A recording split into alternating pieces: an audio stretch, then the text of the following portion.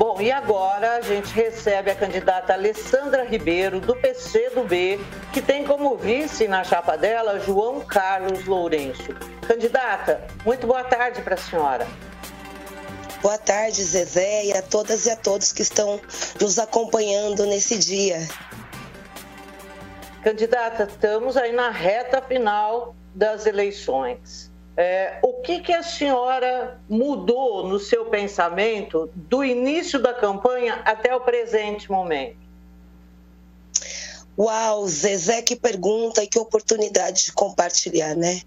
Eu, uma militante comum, que atuo na cultura, movimento cultural, científico, de pesquisa, universidade.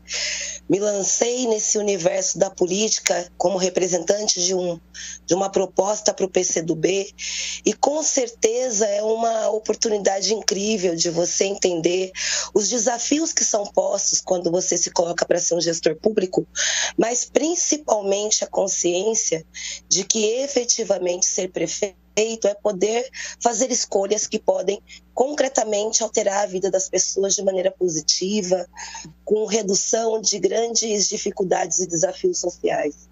Eu mudei bastante nesse sentido e agora tenho uma compreensão bem mais ampla do quanto efetivamente é fundamental que toda a população acompanhe, né, não só no, na hora do, do voto, nas eleições, mas acompanhe as suas escolhas em tempo integral e participem de qualquer gestão, seja ela que esteja em vigor. Agora, candidata, com esse olhar diferenciado, com esse diagnóstico que a senhora fez nesses últimos dias, quais são as áreas mais problemáticas que a senhora acha que precisa ter uma intervenção urgente em Campinas?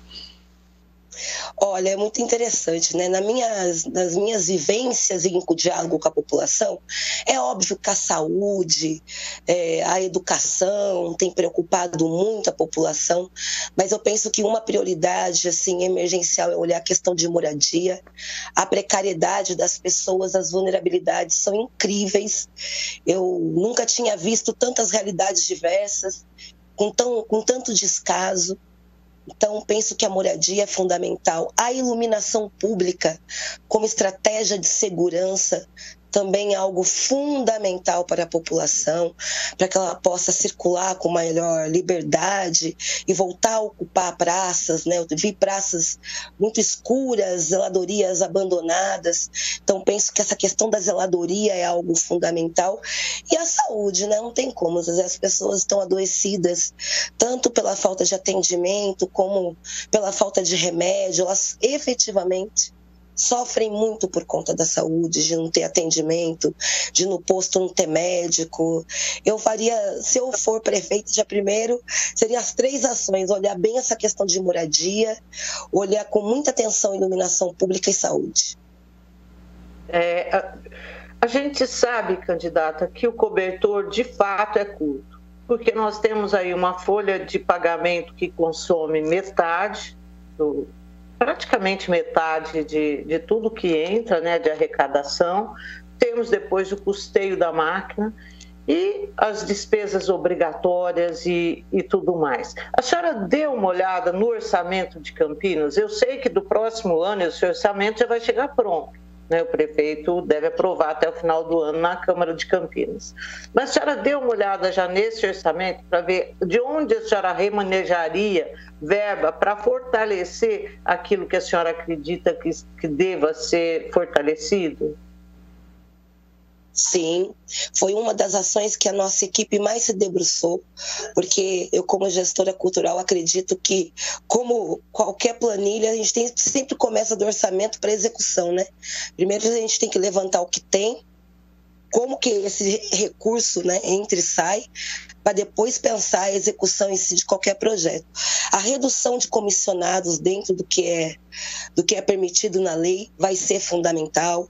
A redução de um investimento de 56 milhões num gabinete de prefeito será fundamental se haver esse recorte. Em algumas áreas também, né, com exceção de saúde e, e educação e o próprio orçamento de pagamentos de funcionários, mas um, vai ter que haver um, um replanejamento e uma reorganização de prioridades dentro da distribuição de recursos. Isso com certeza para que a gente consiga fazer qualquer ação e investimento como esse nessas áreas que eu estou apontando como prioritárias.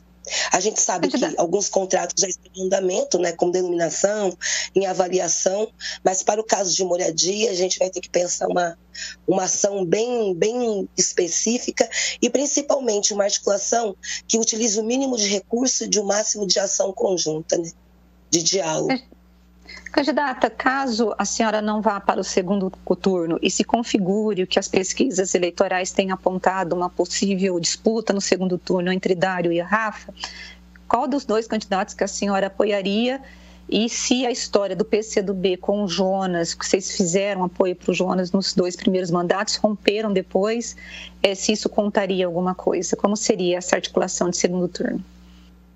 A gente tem como expectativa, né, que até acabar não acabou e que a gente tenha com certeza algum algum partido de esquerda nesse segundo turno, né? Então hoje o que a gente tem conversado e alinhado no, no, dentro da nossa casa do PCdoB é que a gente tem um compromisso com a frente ampla progressista, é um diálogo nacional, um direcionamento do partido nacionalmente, tanto que em alguns estados, né, cidades a gente conseguiu compor, em outros no primeiro turno não, mas a nossa diretiva ainda está nessa expectativa. Caso não sendo nenhum partido da nossa frente, será um diálogo que a gente vai ter que efetivamente fazer a partir do dia 16. Bom, candidata, a senhora tem 30 segundos para falar com a população de Campinas.